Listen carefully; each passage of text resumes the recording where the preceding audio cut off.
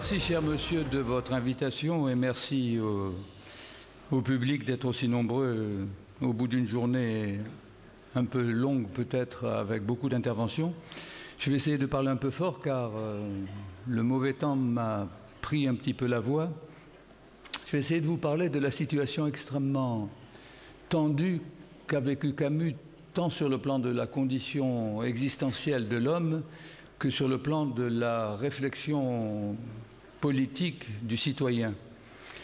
Du citoyen doublement engagé, à la fois en Algérie et en France, vivant d'ailleurs à cheval sur l'Algérie et la métropole, c'est-à-dire sur Alger et Paris, pour simplifier, avant de finir ses jours à Lourmarin. Et je voudrais insister comme fil conducteur sur le fait que euh, ce qui distingue euh, Camus des autres penseurs de son époque, comme Jean-Paul Sartre dont il a été question et dont il sera question dans un instant, c'est essentiellement le fait qu'il a toujours été entre deux pôles opposés, entre oui et non, entre l'envers et l'endroit, entre l'exil et le royaume, c'est-à-dire entre tous les pôles de l'existence qui ne se terminent jamais chez lui par une synthèse. On a déjà suffisamment parlé tout au long de la journée du fait que Camus n'était pas marxiste, même s'il est resté un temps au Parti communiste algérien. Mais je crois qu'il faut comprendre les raisons pour lesquelles il n'était pas marxiste. Parce que le marxisme, qui est une sorte de modification de l'hégélianisme, sans rentrer dans les détails philosophiques, le marxisme est une philosophie qui consiste, à partir des contradictions réelles ou supposées de l'histoire, ou tout simplement de, de l'aventure humaine, pour montrer que ces contradictions s'annulent progressivement sous forme de négativité, pour utiliser le terme utilisé par Hegel puis par Marx, les négations de la négation débouchent sur ce qu'on appelle parfois une négation de la négation ou une synthèse, selon le schéma dialectique que vous connaissez bien, thèse, antithèse, synthèse, qui est devenu traditionnel dans les dissertations de philosophie de terminale. Chez Hegel comme chez Marx, c'est un peu plus compliqué, il faut le remarquer. Mais il y a toujours cette idée selon laquelle il y a toujours une unité englobante qui vient pour finir, et pour finir ça signifie à la fin de l'histoire, unifier toutes les contradictions. Autrement dit, dans le marxisme ou dans toutes les philosophies de l'histoire, il y a une vision apocalyptique de l'histoire. Je vous rappelle que Marx était juif et qu'il reprend au judaïsme traditionnel via le christianisme qu'il n'a pas traversé lui-même. Mais il reprend au judaïsme via le christianisme l'idée d'une fin de l'histoire, ce qu'on appelle le jugement dernier dans les religions. Ce qui signifie, si vous le voulez, que quelles que soient les souffrances, les douleurs, les terreurs, les maux MAUX de l'existence, il viendra un temps, jugement dernier pour les juifs et pour les chrétiens, communisme pour les marxistes, dans lequel toutes les oppositions entre les hommes, toutes les négations, comme ils le disent, et donc toutes les perversions, se dissoudront dans une sorte de synthèse finale et de mise en commun, d'où la notion de communisme. Ce qui signifie que pour la pensée dialectique, qui est l'armature de la pensée de gauche au XXe siècle, sans doute aussi au XXIe siècle, mais de façon très affaiblie, pour la pensée de gauche en général, je ne parle pas simplement de la pensée communiste en particulier, il y a une relation dialectique entre d'un côté l'histoire, c'est-à-dire le devenir humain, et de l'autre côté le progrès, qui, quelles que soient les blessures de l'histoire, comme disait Hegel dans un texte de la phénoménologie de l'esprit, qui dit que les blessures de l'histoire se guérissent sans laisser de cicatrices, allez dire ça à des pieds noirs, que les blessures de l'histoire se guérissent sans laisser de cicatrices, vous verrez bien que l'optimisme de Hegel, relayé par l'optimisme de Marx, est absolument insoutenable non seulement moralement, non seulement historiquement, mais psychologiquement. Comment admettre que les souffrances que nous avons ou que d'autres ont subies, les malheurs qu'ils ont traversés, se guériraient par la seule magie de l'histoire sans laisser de cicatrices? Donc cette idée optimiste, issue aussi de l'optimisme des Lumières, c'est-à-dire du XVIIIe siècle français, cette idée optimiste que l'on trouve dans l'hegelianisme à droite politiquement, puisque Hegel était monarchiste, et que l'on trouve dans le marxisme à gauche, puisque Marx était révolutionnaire, vous le trouvez implicitement dans toutes les pensées du XXe siècle. C'est ce qu'il faut bien comprendre.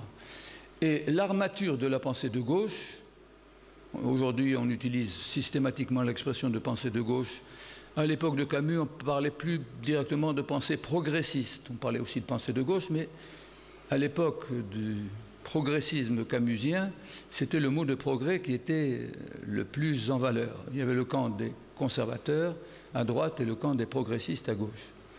Or Camus, et c'est là ce qui implique son attitude ambiguë, en tout cas aux yeux du grand public, mais aux yeux aussi de sa patrie d'élection au départ, c'est-à-dire du monde de gauche qui va le renier, car il ne faut jamais oublier que Camus a été rejeté, non pas simplement par sa mère, non pas simplement par sa patrie, l'Algérie, non pas simplement par la France, non pas simplement par Paris et par le quartier latin, non pas simplement par Sartre, Simone de Beauvoir et les temps modernes, mais a été rejeté par, d'une certaine manière, le milieu d'où il venait, c'est-à-dire le milieu de la pauvreté, qui était classiquement à l'époque à gauche.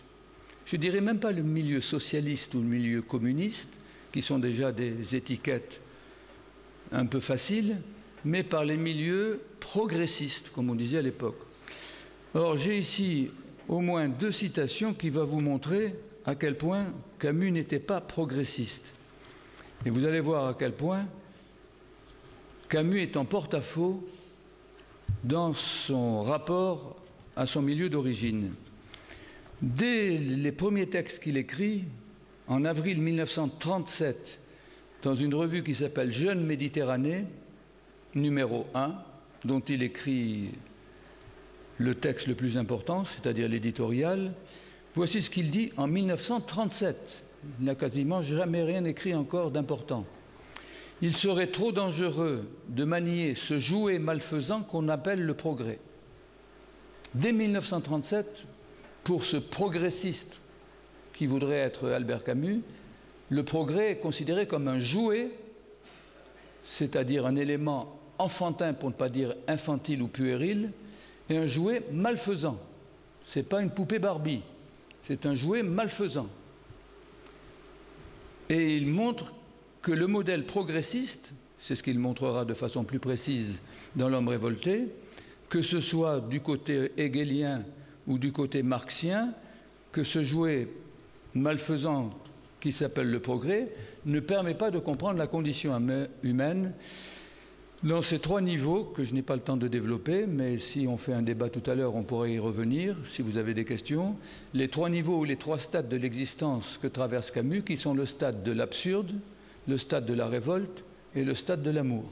Hein, Camus a toujours balisé son itinéraire d'homme et de penseur, disons de philosophe pour aller plus vite, en disant que le premier stade ou le premier cycle, c'est le terme qu'il utilise, de la condition humaine et donc de la sienne, c'est le stade ou le cycle de l'absurde, parce que la condition humaine, dans son premier rapport à nous, est absolument absurde. Nous ne venons de nulle part et nous allons nulle part, surtout si nous sommes incroyants, ce qui était le cas d'Albert Camus. Donc nous venons du néant pour finir dans le néant, exactement comme disait Pascal, l'un des grands inspirateurs de Camus. Nous venons du néant et nous finissons dans le néant. Nous sommes un milieu entre rien et tout. Et quand nous allons du côté du tout, nous nous apercevons que nous ne sommes rien, le tout étant le cosmos ou Dieu. Quand nous allons du côté du néant, nous apercevons que nous sommes quelque chose par rapport au néant, mais ce quelque chose n'est pas, passez-moi l'expression, grand-chose, puisque de toute façon, nous allons finir dans le néant. D'où l'angoisse métaphysique d'un Pascal qui a été transmise à Camus, à savoir que nous ne savons pas finalement de quoi la condition humaine est faite, sinon de cette apparence de sens qu'est l'existence, et de ce dénuement du sens qu'est la condition humaine en tant que telle. Et c'est cela que Camus appelle l'absurde. Cycle numéro un. Contre l'absurde intervient un cycle numéro deux qui est la révolte. On pourrait presque dire que l'absurde, si vous le voulez, c'est l'enfance de l'homme, la révolte, c'est l'adolescence de l'homme, et l'amour, troisième et dernier cycle, c'est la maturité de l'homme. Les trois milieux que traverse naturellement et difficilement et de façon déchirée tout homme.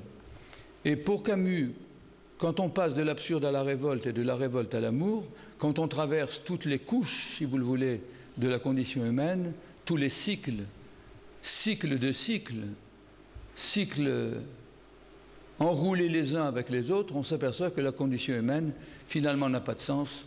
En définitive, on nous met dans un trou, on jette de la terre dessus, et c'en est terminé. La phrase n'est pas de moi, dit Camus, elle est de Blaise Pascal. À la fin de notre vie, on creuse un trou, on jette un cadavre, on jette de la terre dessus, et c'est terminé. Donc à quoi a servi finalement ma vie, puisqu'il n'en reste rien? Il n'en reste rien, sinon évidemment pour Camus et pour d'autres évidemment, le fait de créer et de laisser une trace, ce pourquoi nous sommes réunis aujourd'hui, pour laisser une trace à nos enfants, à nos petits-enfants et aux générations futures, c'est-à-dire à, l'humanité en tant que telle. Tout homme, au fond, porte en lui un exemplaire de l'humanité, disait déjà Montaigne dans une formule fameuse, un exemplaire de l'humaine condition. Et cet exemplaire de l'humaine condition, il faut essayer de lui donner un sens. Alors, les modernes ont essayé, encore une fois depuis Hegel et Marx, qui ne font que laïciser l'idée téléologique d'une fin de l'histoire qui est une idée religieuse,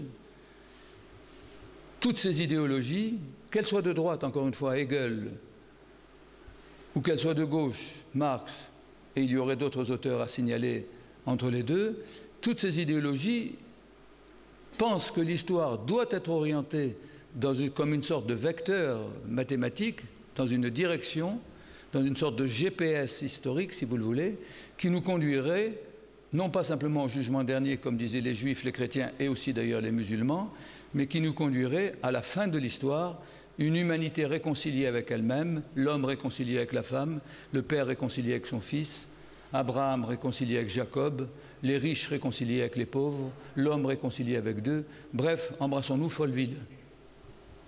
Mais l'idée de Camus, c'est que cette idée progressiste n'est qu'un jouet malfaisant. Et pour enfoncer le clou, il écrit un peu plus tard, la phrase que je viens de vous citer était de 1937, en 1954, dans Les Amandiers, qui est un des plus beaux textes de l'été, de ce recueil de poésie en, en prose, comme aurait dit Baudelaire, voici ce qu'il dit Je ne crois pas assez à la raison pour souscrire au progrès, ni à aucune philosophie de l'histoire. Je répète, je ne crois pas assez à la raison, il n'est pas rationaliste, pour souscrire au progrès, il n'est pas progressiste, ni à aucune philosophie de l'histoire, il n'est pas historiciste. Or, la gauche de l'époque est progressiste, rationnelle, historiciste. Est-ce que Camus est encore un homme de gauche? Je ne me demande pas s'il est communiste ou socialiste. Est-ce qu'il est un homme de gauche? Quand vous étudiez toutes les prises de position de Camus, et je laisse de côté pour l'instant la guerre d'Algérie, sur laquelle je terminerai, vous verrez que Camus ne suit jamais les orientations de la gauche de son époque, pas simplement de la gauche communiste ou de la gauche socialiste, des Guy et autres, mais même des journaux de gauche ou a fortiori des revues philosophiques de gauche comme les temps modernes, mais il y aurait aussi esprit du côté du personnalisme chrétien avec Emmanuel Mounier. Vous apercevez que chaque fois que la gauche de l'époque, la gauche bien pensante, prend des positions, en particulier sur le conflit palestino-israélien, qui existait déjà, comme vous le savez à l'époque, depuis 1948, vous apercevez que Camus est toujours en porte-à-faux vis-à-vis du milieu dont il continue de se réclamer, puisqu'il a toujours dit qu'il se sentait ou qu'il se ressentait comme un homme de gauche. Mais il faut comprendre encore sémantiquement ce que veut dire un homme de gauche.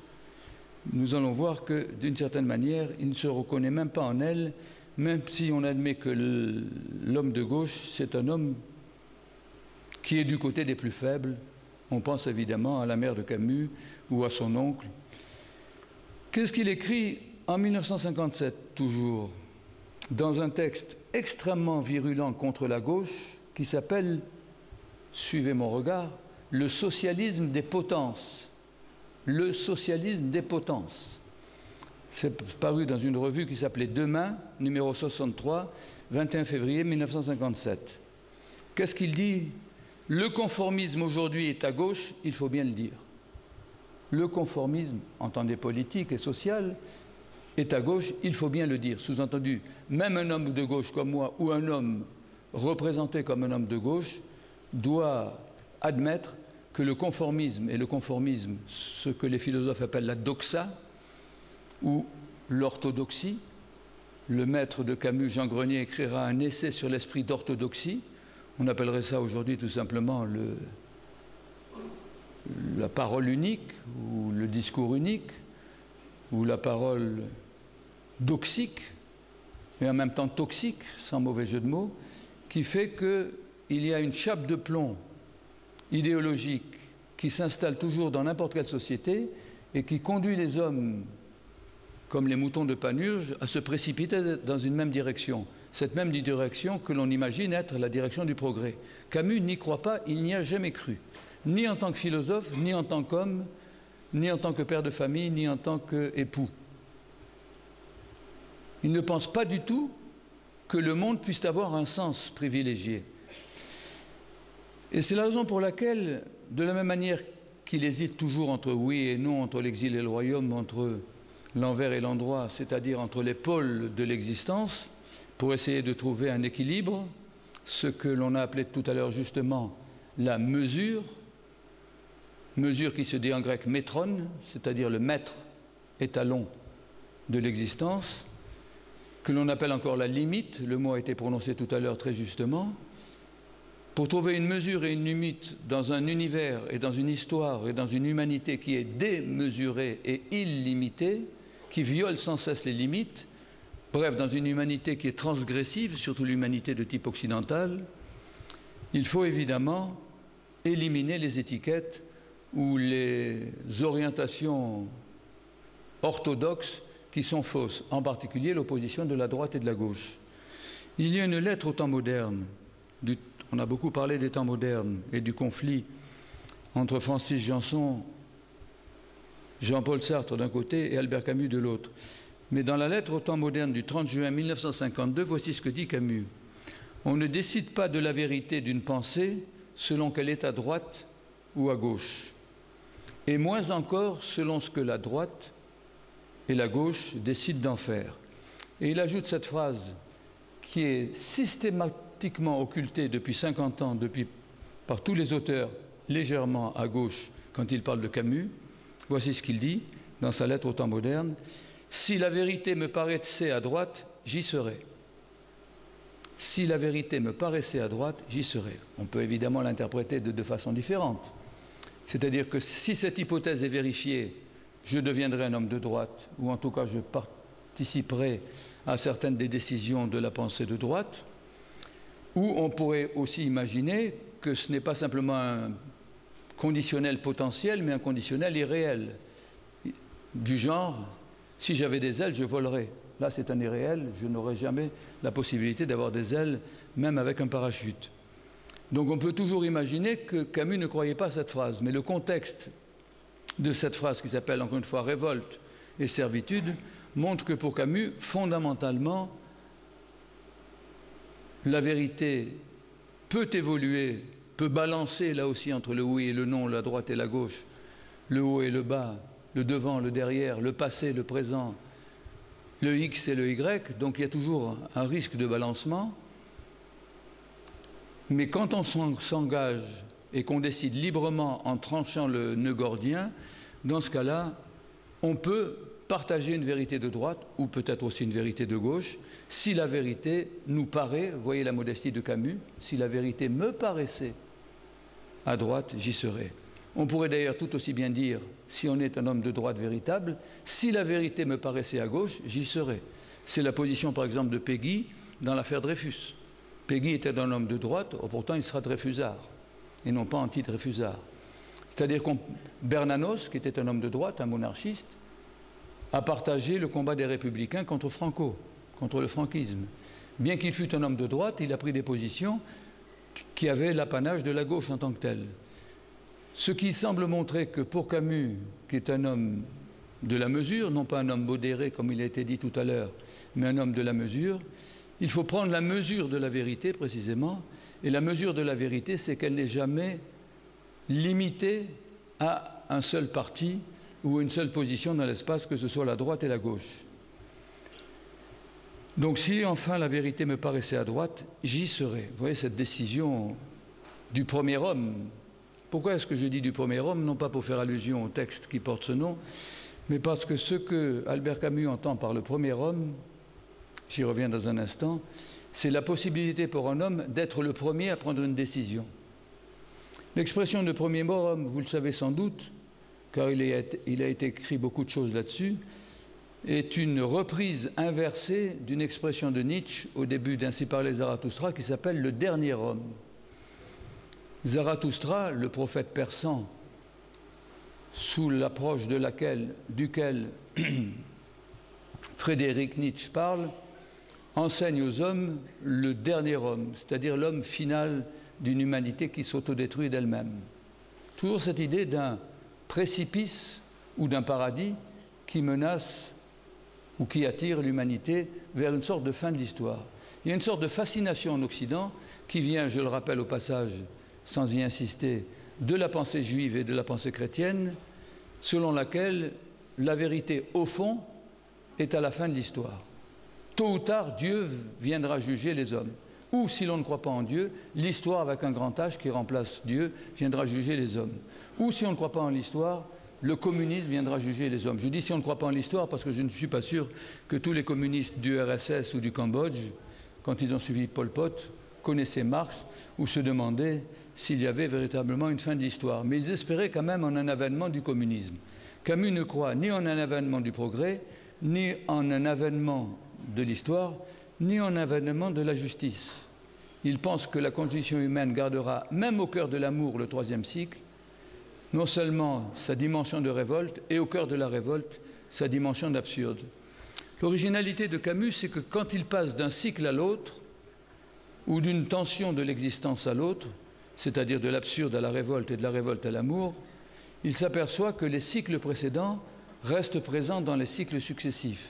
Autrement dit, quand j'assume ma révolte, moi Prométhée, je conserve en moi l'absurde de Sisyphe. Et de notre côté, quand j'assume l'amour, moi Némésis, puisque Némésis va être la déesse qui l'assimile à l'amour tout à fait à la fin de son cycle, je conserve moi dans l'amour des traces de révolte, du cycle de la révolte, et des traces de l'absurde, du cycle de l'absurde. Exactement comme un homme adulte, j'utilisais la comparaison tout à l'heure, exactement comme un homme adulte garde en lui l'adolescent qu'il fut et l'enfant qu'il n'est plus ou qu'il n'est plus tout à fait. Freud a écrit des choses incomparables là-dessus. Alors j'en viens à la question strictement politique de la guerre d'Algérie et je me demande qu'est-ce qui fait que Camus a eu cette position qui n'a pas été comprise ni à droite ni à gauche, précisément, ni en Algérie, on en a suffisamment parlé tout à l'heure, ni en France, ni a fortiori à l'ONU ou ailleurs. Comment se fait-il que quelqu'un qui se mettait sous la règle de l'universel, comme Camus, c'est-à-dire d'une justice, aurait préféré sa mère à la justice? Alors, cela a été superbement dit tout à l'heure, mais je voudrais reprendre cette idée de justice de la conférence de presse de Stockholm.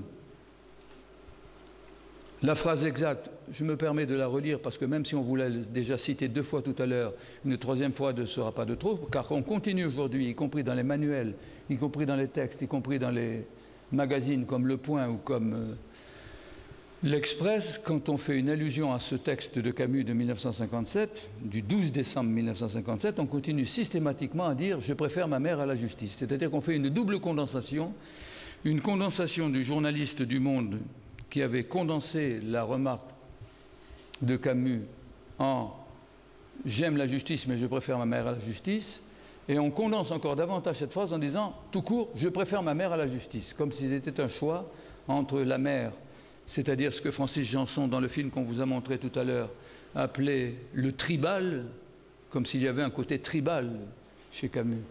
Le retour à la tribu primitive, la tribu maternelle ou paternelle. Le retour à une sorte de tribu africaine, pas simplement d'Afrique du Nord, mais d'Afrique subsaharienne. Ce n'est pas du tout ce que veut dire Camus. La phrase exacte, je vous la recite, telle qu'elle a été mal cité ou peut-être truqué par un journaliste qui s'appelait Dominique Birman, qui était l'envoyé du Monde à Stockholm, la voici, en ce moment, en ce moment, c'est-à-dire le jeudi 12 décembre 1957. En ce moment, on lance des bombes dans les tramways d'Alger. ma mère peut se trouver dans un de ces tramways. Si c'est cela, voyez l'expression péjorative, cela, iste en latin, cette chose-là, si c'est cela la justice, je préfère ma mère. Il n'a jamais dit que le fait de choisir sa mère n'impliquerait pas en même temps le choix de la justice, car le choix de choisir la défense d'un innocent et même d'une innocente dans le cas de sa mère, dans tous les sens du mot français innocent, montre bien que c'est une justice en tant que telle.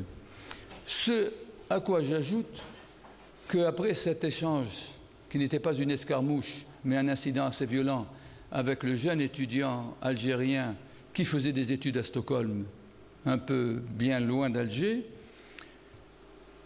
après la mort d'Albert Camus, la mort tragique de janvier 1960, l'étudiant algérien en question a compris son erreur et est venu par la suite en France se recueillir sur la tombe de Camus à Lourmarin en disant qu'il voulait l'écouter, et les textes se trouvent et ont été imprimés, qu'il avait eu tort de poser cette question à Camus et de penser que Camus préférait grossièrement sa mère à la justice.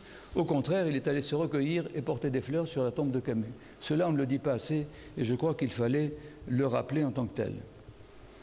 Alors, se pose la question de l'Algérie. Là aussi, rien de tribal dans l'idée de Camus. Au contraire, il connaissait fort bien, sinon l'arabe, c'est à peu près la seule chose qu'on pourrait lui reprocher, je pourrais le lui reprocher, moi qui suis le fils d'un ingénieur qui connaissait parfaitement l'arabe et d'une institutrice qui enseignait en arabe dans le bled, ma mère étant institutrice et mon père géomètre expert quand ils étaient vivants, en tout cas dans les années 40 et 50. Et donc on pourrait se dire que Camus aurait pu peut-être apprendre un petit peu l'arabe au-delà de Mektoub ou du Kawa. C'est à peu près la seule remarque qu'on pourrait lui faire. Mais Côté positif de cette remarque qui peut paraître négative, c'est d'autant plus remarquable de ne pas connaître la littérature arabe ou de ne pas connaître la langue arabe que de défendre les Arabes, non pas en fonction de leur culture, c'est-à-dire finalement d'une abstraction, mais en fonction du simple sentiment d'indignation devant les injustices dont souffrait une grande partie de la population arabo-musulmane, depuis les Kabyles jusqu'aux Arabes en tant que tels, qui, soit dit en, passant, avait conquis la terre kabyle bien avant que les Français n'arrivent. Or, lorsque Camus, qui, s'il ne connaissait pas l'arabe, connaissait bien l'histoire de l'Algérie et plus généralement l'histoire de l'Europe, Camus, dès le départ, et il le montre très bien dans Actuel, a le sentiment que, que les Arabes n'ont aucune légitimité à régner sur une terre qui n'a jamais eu elle-même de fondement national en tant que tel. Il ne faut quand même pas oublier, et Camus le montre bien dans L'homme révolté, que l'idée de nation a été inventée par les Européens. Et les Premières Nations se sont développées, comme vous le savez, au XIXe siècle, c'est-à-dire très récemment. Rappelons-nous la phrase fameuse de Ferrat Abbas Je suis allé dans les cimetières et je n'ai jamais trouvé la nation algérienne. C'est Ferrat Abbas qui a dit cela à une époque où il croyait lui-même, Ferrat Abbas, la possibilité d'une France liée à l'Algérie ou d'une Algérie liée à la France, s'il y avait un rééquilibrage dans les traitements qui étaient faits aux différentes couches de la population. Mais dans Actuel 3 en 1958, dans un texte qui s'appelle Algérie 1958, voici ce qu'écrit Camus et qui va le séparer définitivement d'un côté des intellectuels progressistes des temps modernes et d'ailleurs disons, de Paris pour simplifier, de Paris et même du reste de l'Europe et même des États-Unis, puisque l'ONU avait pris position, je vous le rappelle, pour l'indépendance de l'Algérie, qui va le séparer quasiment du monde entier, mais qui va le séparer aussi des gens du FLN, parmi lesquels il avait, et il avait eu quelques amis. Voici ce qu'il est dit dans Algérie 1958. Il n'y a jamais eu encore de nation algérienne. Il aurait pu d'ailleurs ajouter que le mot Algérie a été inventé par les Français en 1831-32, deux ans après la colonisation. Il ajoute Les Juifs, les Turcs, les Grecs, les Italiens, les Berbères auraient autant de droits de réclamer la direction de cette nation virtuelle. Tout le mot important est ici. L'Algérie, au moment où il parle, en 1958, date importante s'il en fut, n'est pas une nation réelle, c'est une nation virtuelle dans lequel il y a d'autres indigènes ou d'autres autochtones, au sens étymologique d'autochtones en grec, nés d'une même terre, et les Arabes en tant que tels ne sont pas seuls. Et il ajoute, dans un texte légèrement antérieur qui s'appelle Lettre à un militant algérien, le fait français ne peut être éliminé en Algérie et le rêve d'une disparition subite de la France est puéril. Ce ne sera pas un rêve, ce sera un cauchemar, à la fois pour la France et pour l'Algérie, depuis 1962. Alors, quelle est la position qu'il avait? Sa position était très mesurée. Il le dit toujours dans le même texte des Chroniques algériennes de 1958. Une Algérie constituée par des peuples fédérés, reliés à la France, me paraît préférable, sans comparaison possible au regard de la justice, où l'on retrouve la justice, et une Algérie reliée à un empire d'islam qui ne se réaliserait qu'à l'intention des peuples arabes pour une addition de misère et de souffrance. On peut dire qu'il avait prévu ce qui allait arriver à son pays. Alors, quelle est la solution que propose au fond Albert Camus? Il propose d'essayer de comprendre la possibilité de vivre sur une même terre à partir d'un mélange de différentes populations, de telle manière que ce mélange, ce métissage, comme on l'a dit ce matin, entre les différentes populations permettrait de faire naître un homme nouveau, un homo algérianus, si je puis dire, absolument nouveau, qu'il attend et qu'il n'a pas pu faire mettre au jour dans son roman final qu'il s'appelle Le premier homme. Il faut comprendre d'où vient l'expression du premier homme. Je disais toujours tout à l'heure que ça vient de Nietzsche en particulier, quand Nietzsche parle du dernier homme, pour bien montrer que l'humanité est en train de finir dans le désordre, dans la haine et certainement même dans la mort.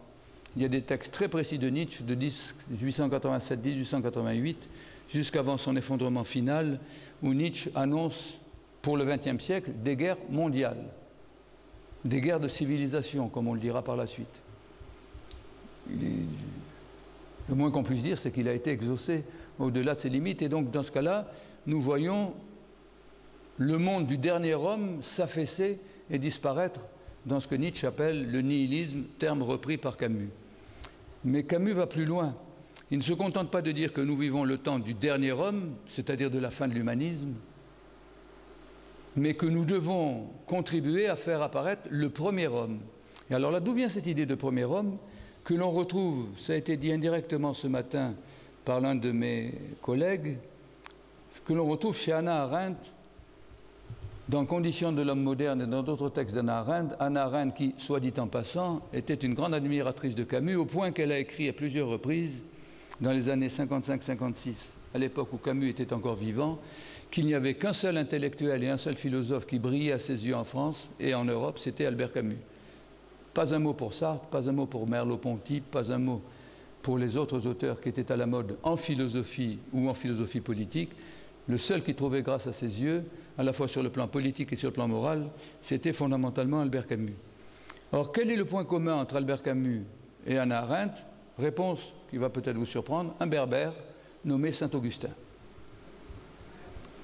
Un berbère nommé Saint-Augustin parce que Albert Camus a fait sa son diplôme d'études approfondies, ce qu'on appelait un DEA, aujourd'hui on appelle ça mémoire de maîtrise.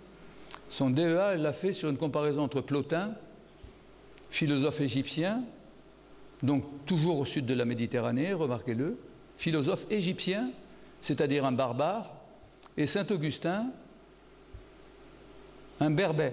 C'était évidemment le même mot, puisqu'en latin, le mot barbare et le mot berbère sont issus du mot barbara qui vient des Grecs.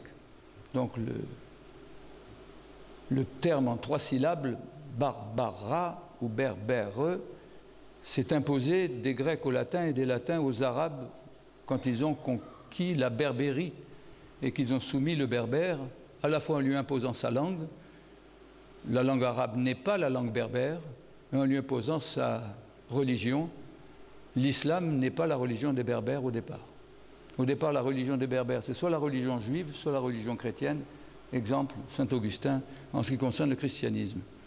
Et qu'est-ce que dit Camus à propos du premier homme? Ce que disait déjà Saint Augustin, Qu'est-ce que c'est que la liberté? C'est d'être un premier commencement. Dans un texte fameux de Saint Augustin sur la cité de Dieu, Saint Augustin dit que pour qu'il y eût un commencement dans le monde, Dieu a créé l'homme, comme si l'homme était un premier commencement. Vous allez me dire par rapport à quoi?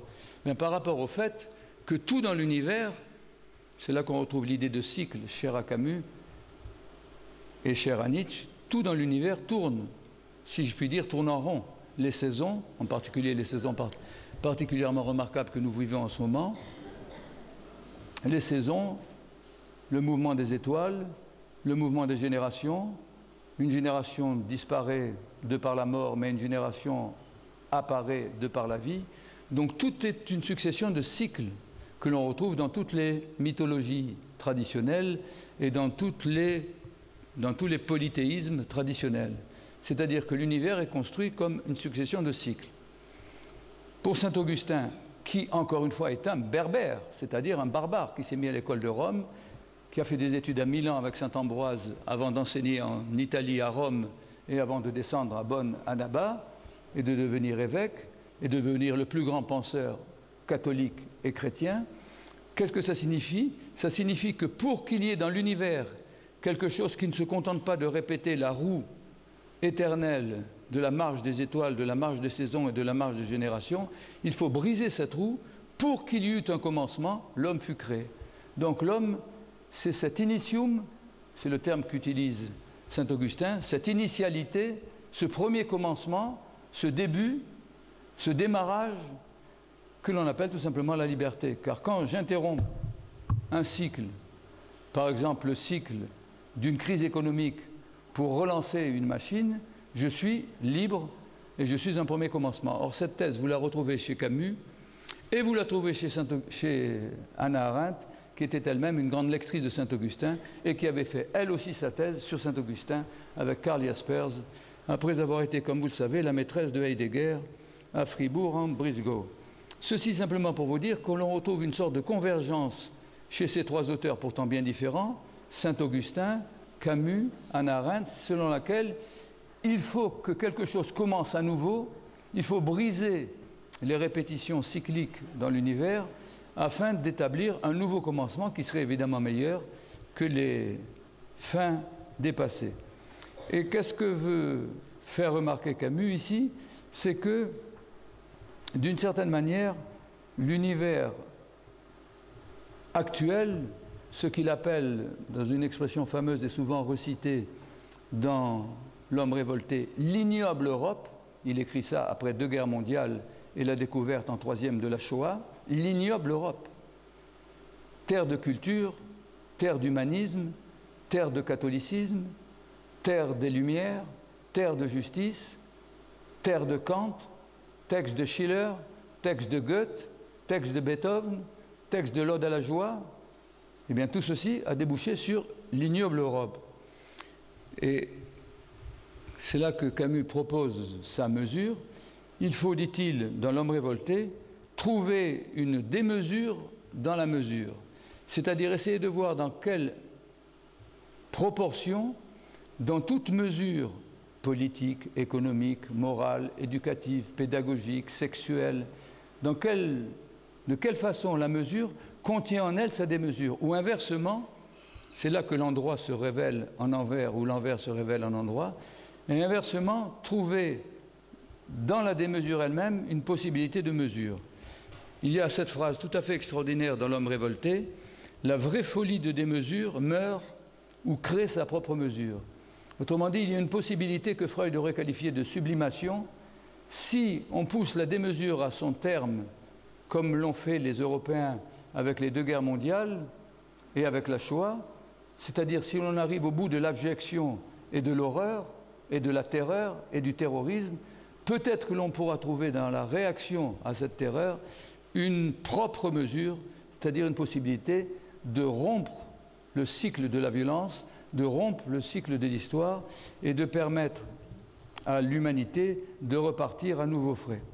Je termine, j'ai déjà été suffisamment long. Ce que Camus finit par dire, et c'est là encore qu'il se distingue complètement de la gauche de son temps, en particulier de la gauche bien pensante qui voulait être du côté toujours des opprimés, tout en continuant elle-même à opprimer les oppresseurs ou les prétendus oppresseurs. C'est là, là qu'il se distingue en particulier de la gauche à propos du conflit israélo-palestinien. Et surtout, il critique le fait que la gauche de son époque, en gros des années 50, mais elle n'a pas beaucoup changé dans les années 2010-2013, se croit toujours obligée de nier ses propres principes, c'est-à-dire de nier les principes d'humanisme de l'Europe. Et c'est ce qu'il dit dans une phrase fameuse sur laquelle je terminerai dans les chroniques algériennes en mars 1958. Il me paraît dégoûtant de battre sa coulpe comme nos juges pénitents sur la poitrine d'autrui.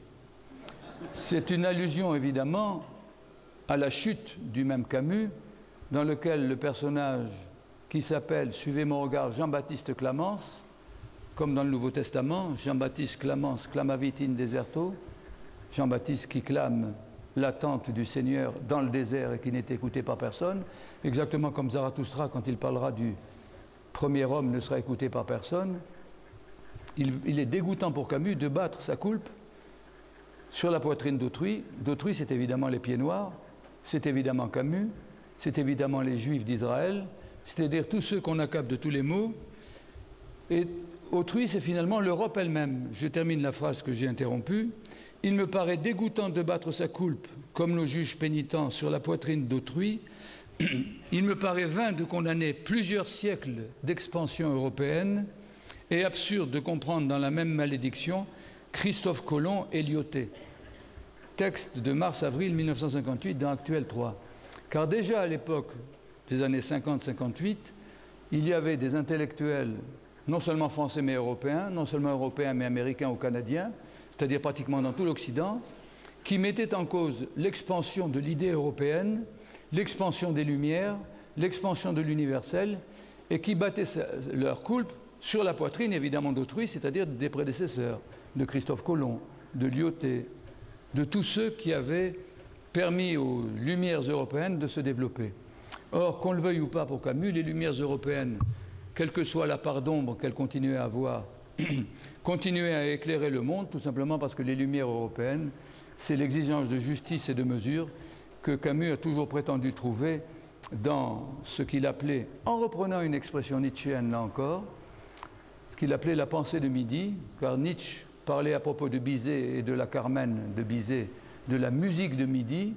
L'expression sera reprise par Paul Valéry dans le cimetière marin qui parlera de midi le juste, car midi coupe la journée en deux et équilibre parfaitement la part du matin de la part du soir, donc midi le juste, expression valérienne, et ce midi le juste qui coupe le monde en deux et qui lui permet de se balancer entre envers et endroit, entre lumière et ombre, entre jour et nuit, entre bien et mal, entre passé et présent, permet pour Camus de redistribuer en quelque sorte les équilibres entre les points de friction de l'univers et de l'histoire et de donner un sens à ce qui, sans cette volonté de donner un sens au monde, n'en aurait absolument pas. Je termine simplement en disant que la grande leçon de Camus, qui est une leçon de courage, la chose va de soi, mais dans le domaine de la politique et de la morale, peut-être aussi de l'ontologie, si je risque ce terme philosophique, c'est-à-dire dans le domaine de l'être, qu'est-ce que c'est finalement que l'homme et qu'est-ce que c'est que la condition humaine, la grande leçon de Camus, c'est d'avoir essayé de traiter un équilibre entre ce qu'il appelle souvent, car les deux termes reviennent sous sa plume, entre la révolte et le consentement. Dans la révolte, d'une certaine manière, vous sortez de vous-même pour exprimer votre indignation devant l'injustice, donc il y a un mouvement de déport existentiel hors de soi, dans le consentement, au contraire, vous intégrez en vous la beauté du monde, la justice du monde, le monde qui, comme le dit à la fin de l'étranger Meursault, le monde reste notre premier et notre dernier amour. Merci de votre attention.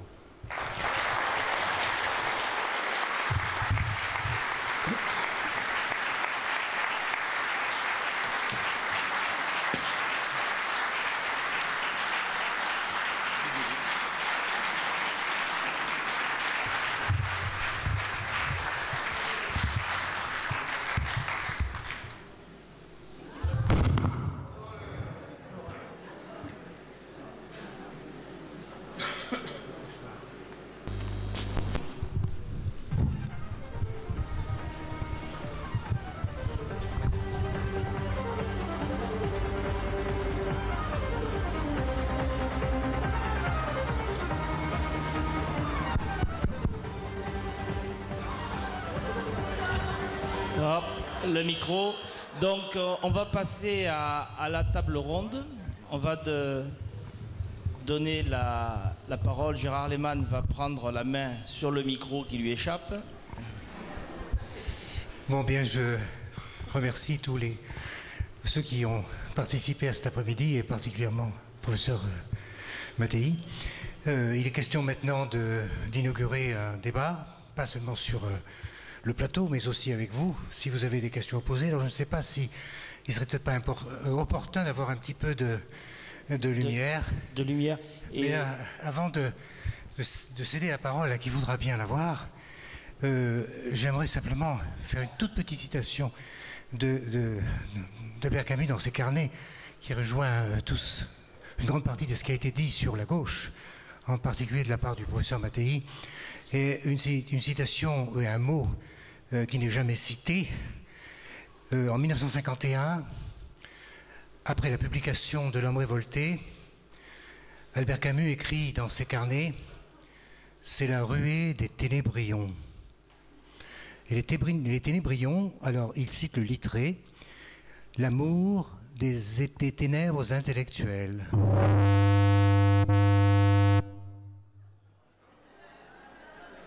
C'est pas moi. C'est pas moi. J'ai rien fait.